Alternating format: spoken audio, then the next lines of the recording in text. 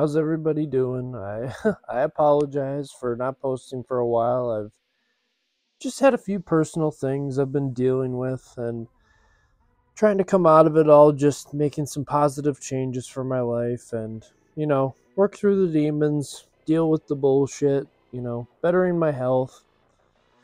Those of you who know me personally know I'm a huge animal lover and Jamie and I are the proud parents of six beautiful dogs, and though that is a lot of work, we we wouldn't really trade it for anything. You know, they're one of the biggest bonds that her and I share, and recently we had to go before our city council and uh, apply for a private kennel license, and after some deliberating and a few requirements, we got everything sorted out, and it's just been a fun little process you know and another big thing that i've been doing now is i've been making the decision to try to get into shape and i know anybody who knows me personally i'm shaped like a teenage hot dog and but i'm a smoker and i know i know but i i swear by tobacco for me and I, I don't endorse it or recommend it for anybody but it's just one of those choices i make and i have to live with and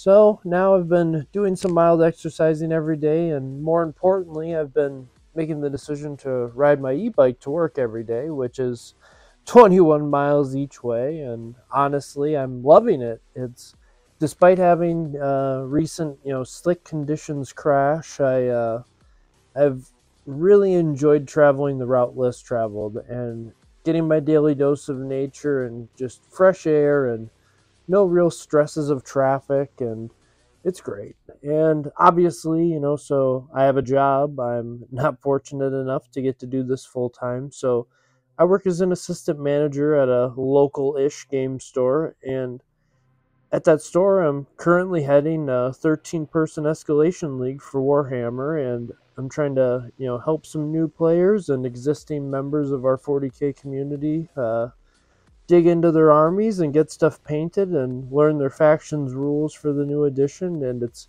been really great. I've you know made a lot of good relationships and have been picking up new you know ideas for things and been helping people kind of get through some of their humps of their hobby and it's been really exciting. So lately just between life and my own kind of personal funk i've just not been spending much time painting or doing any videos. So those of you who have subbed and uh, stuck by me so far, I greatly appreciate it. And those of you who aren't subscribed, you know, don't make me say it. You know, you you know what you should do.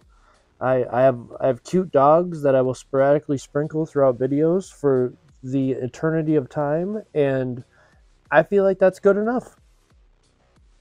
So for the aforementioned Escalation League, I wanted to build a fun army and not a hammer list, not a meta list, just something fun. And so the Grot Rebellion has been born. And I've already gotten a handful of units to the tabletop standard. Not not completely finished, but well, you know, we'll we'll get there when we get there. But the army as a whole is uh, going to be something I'll probably cover in a future video, so look forward to that. Uh, there's a lot of silly things I'm planning for this army, and one of those was born with the random conversation I had with a coworker, and a Battlewagon with a putt putt course was the end of the conversation. So I'm gonna throw on some music for you, and just you know you can strap in and you can hop on the adventure as I you watch my brain kind of sped through the process of building this tank and kind of pulling the whole thing out of my ass. So I hope you enjoy. I'll have some videos at the end of just uh, it all painted up and kind of ready for my league and show off kind of my color scheme I got going. So I, I hope you enjoy the video and thanks for watching.